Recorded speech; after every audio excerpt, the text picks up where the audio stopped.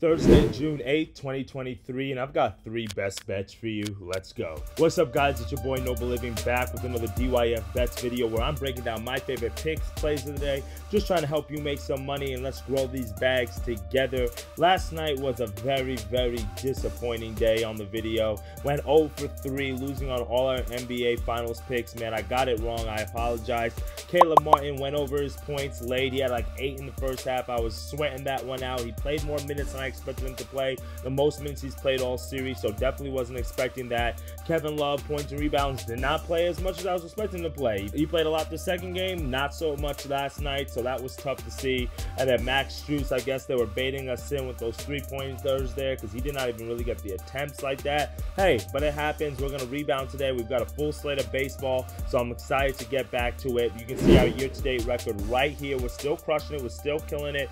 10 games over 500 year-to-date, so we can't be mad at it. So as always, like, comment, and subscribe to the video because I know I'm about to heat up. I'm about to go on a run here. About to start putting out some bangers, string together some winning days, and you don't want to miss this. So make sure you're sharing these videos with people who you know like to sports bet so we can grow the channel and continue to get to this money.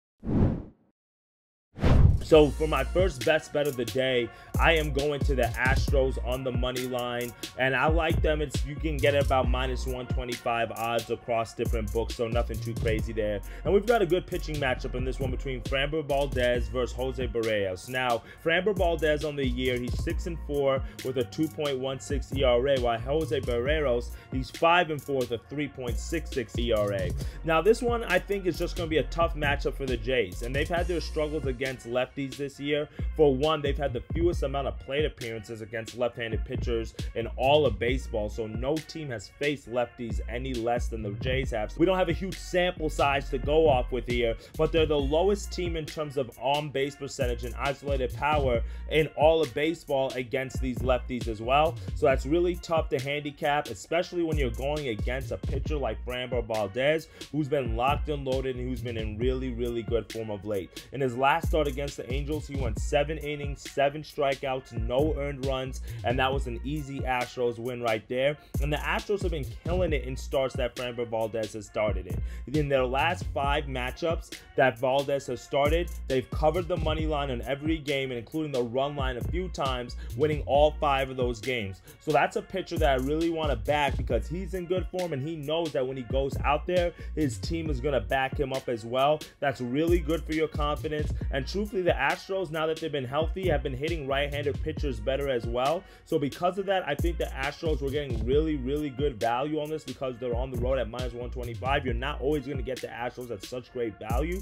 And when you have their ace on the mound in Framber Valdez, I like that here. So give me Valdez, give me the Astros on the money line as my first pick of the day. Now, you know I talked a lot about Valdez on that pick, and that's because I want to dive into Jose Berrios a little bit because he's no slouch either, especially at home. He pitches really well, and he has a 2.22 ERA at home in 24 innings, and he's only given up six earned runs in those 24 innings. So really, really good. But this is the thing: because he's a strong pitcher, and because I trust the Astros bullpen a little bit more, and they're going against a strong pitcher in Framber Valdez, I like the first five under four and a half runs as my second best bet today. And you can get that at minus 130 odds on FanDuel. There's some books that have under four on there. I mean, I would take that, but I think three and a half is too low. Four and a half is the number that we're going for. We already cashed on one of these first half unders this week, and I'm trying to run it back again today.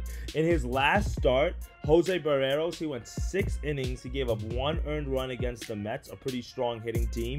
And then the game before that, he faced Minnesota, another home run, strong hitting team. He went five and two thirds innings, four hits, zero earned runs. So he's really strong over five in innings. Like I mentioned in the previous pick, Framber Valdez is really strong over five innings. So I think we can be able to give up one or two runs here and still like this thing to get under. When you dive into the numbers a little bit deeper, Toronto is 13th in the league in first five runs per game, averaging just around three, while the Astros are 18th, averaging about two and a half. So that's like their average against all starting pitchers. And now we have really two two strong starting pitchers on the mound. I like this a run or two lower than that. So give me the under four and a half first five runs in the Astros and Jays as my second best bet of the day. For my final and third best bet of the day, I had to scrounge something up here because we've got a lot of early baseball games, a lot of double headers as well. I don't really put out early baseball games on the channel so I can give you guys time to view the video and put in the picks. As a result, if you're trying to get those early games, make sure you're joining the Telegram group. The link is in the bio below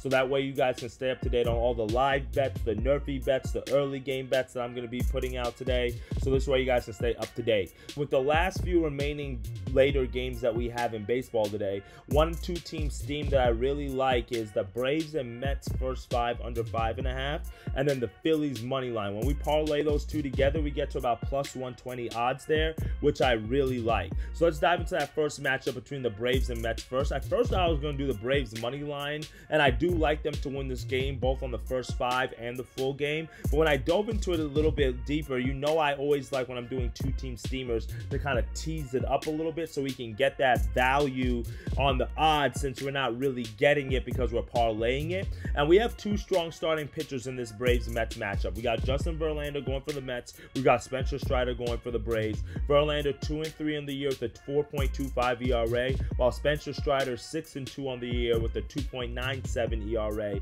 So two good pitchers who've been strong form of late. And Verlander, I know he has a little bit of higher ERA than what we're used to seeing, but I feel like that's just a little bit of an outlier ERA, a little deceiving because he had two outings, one against the Rockies at Coors Field, so you guys know it's a hitter-friendly park, where he gave up six earned runs, and then he also had another start against the Rays earlier this year where he gave up six earned runs. So between those two starts alone, it's kind of skewed his numbers a bit, but if you dive into the numbers a little bit deeper, in his last start against the Jays, he went six innings, eight strikeouts, only one earned run, and that's what I really like to see from a pitcher that I want to back. And on the other side, we have Spencer Strider, who's been pitching strong in the first five innings as well. In his last three starts, he's only given up two earned runs in each of those three starts, and he went six innings in each of those three starts as well.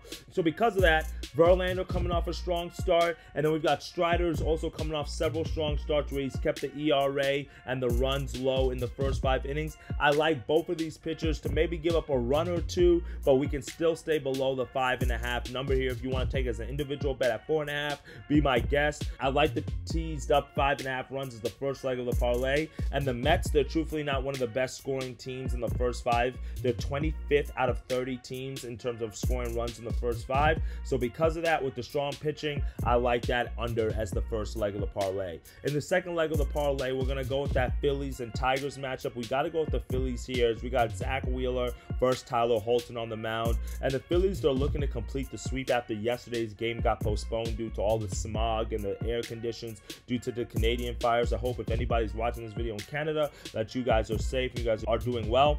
But the Tigers are going with a bullpen matchup in this one. And I'm not the biggest fan of handicapping bullpen games because you just never know what you're going to get. You might have a long reliever who's in there for too long, or, you know, the bullpen did get a break yesterday with that postponed game. I think there's a strong Phillies offense, which is finally starting to get healthy. And then the, the Tigers are also not the best when they're facing left handed pitchers. And I really think this is Zack Wheeler's start to really rebound. In his last start against the Nationals, it was very rough for him. In three and two thirds innings, he gave up seven earned runs. That's really tough. But when you look into the numbers, he is better at home than he is on the road. He has a 3.53 ERA at home compared to 5.18 ERA on the road. That last start against the Nationals was on the road. And then the Tigers are 24th out of 30 teams in team OPS against lefties this season. So because of that, they're not hitting lefties the strongest. They're going in a bullpen game against an offense that's looking to sweep this series. And I think the Zack Wheeler can put together a strong outing here.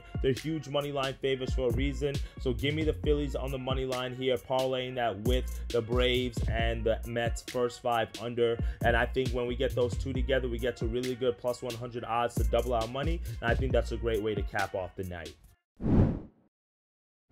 Well, that's it for me today, my friends. Hopefully, we can make some money, and I'm super excited to see what we can do to get back on the winning streak after a big goose egg yesterday. I'm looking to get hot. I'm looking to warm up. I got to lock in. I got to go crazy for this month of June, so you don't want to miss this. As always, Make sure you're like, commenting, and subscribing to the video, sharing the video out. If you guys want to hear my commentary on some of the games, or if you like are looking for some new additional content, some additional things, just let me know so this way I can figure out the best way to continue to serve you. All right. As always, dictate your fate. Let's make some money. And I'm excited to hear some of the wins that you get inside the Telegram. Later, guys.